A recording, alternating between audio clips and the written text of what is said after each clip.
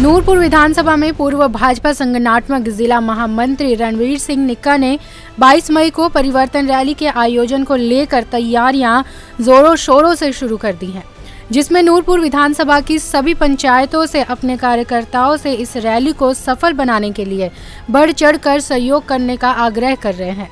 पिछले कुछ दिनों से वह लगातार अलग अलग पंचायत से अपने कार्यकर्ताओं से मीटिंग कर रहे हैं मीटिंग में आए कार्यकर्ता भी उन्हें आश्वासन दे रहे हैं। समाज सेवी और पूर्व भाजपा संगठनात्मक जिला महामंत्री रणवीर सिंह ने कहा कि हमारी नूरपुर विधानसभा के हर बूथ से हमारे कार्यकर्ताओं की बैठक चली हुई है, जिसमें सभी कार्यकर्ताओं ने एक प्रण किया है कि 22 मई को गनगत चौक जसूर में हज़ारों की संख्या में इकट्ठे होकर परिवारवाद भ्रष्टाचार के खिलाफ हिमाचल को अपना जनादेश देने जा रहे हैं। इस परिवर्तन रैली का नाम दिया गया है। अभी जनसंपर्क एक अभियान शुरू किया हुआ है। पंचायतों को बुला बुला के आप एक बैठक कर रहे हैं। ये किस मकसद से की जा रही है?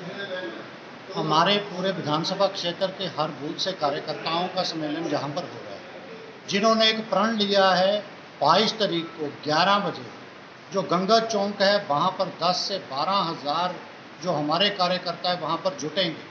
और कार्यकर्ताओं ने हंकार भरी है जहाँ पर जो परिवारवाद के खिलाफ भ्रष्टाचार के खिलाफ अपना जनादेश पूरे हिमाचल प्रदेश को देने जा रहे हैं उसी के लिए कार्यक्रम की योजना और तैयारी हो रही है। क्या इस रैली को हम आपका शक्ति प्रदर्शन माने क्या?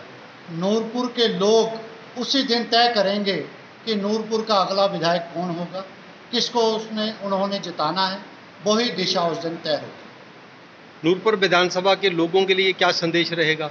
नूरपुर विधानसभा क्षेत्र के कोने कोने के कार्यकर्ताओं को, महिलाओं को, नौजवान साथियों को, बुज़ुर्गों को मैं अपील करना चाहता हूँ, भारी संख्या में वहाँ पर पहुंचकर उस पंडाल की शोभा बढ़ाएँ।